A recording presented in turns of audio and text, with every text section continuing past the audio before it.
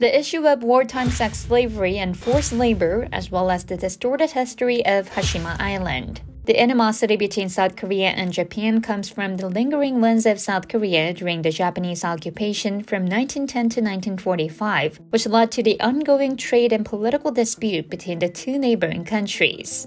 And now their long standing tensions are to reopen with another issue being raised the Sado mine. On Tuesday, Japan's Cultural Affairs Agency proposed the Sado mine in Niigata Prefecture as a candidate for the UNESCO World Heritage Site. If it's selected, the Japanese government will submit a letter of recommendation to UNESCO by February 1st, after which the UN body will make a decision in 2023. South Korean government immediately called for Japan's retraction of the push, calling it very deplorable. 일본 문화청 문화심의회에서 또 다른 한국인 강제노역 피해 현장인 사도광산을 세계유산으로 등재 추진키로 한 데 대해 매우 개탄스러우며 이를 즉각 처리할 것을 촉구한다.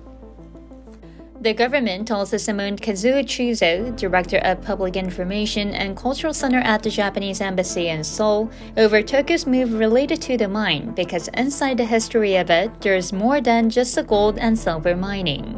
The Sado mine was originally operated as a gold mine in the 1600s. Then it was turned into a facility to produce war related materials such as copper, iron, and zinc during World War II, and at least 1,200 Koreans were forced into labor at the time under harsh conditions. However, without properly recognizing the forced labor victims, Japan has been pushing to register the Sado mine on the coveted list since 2015.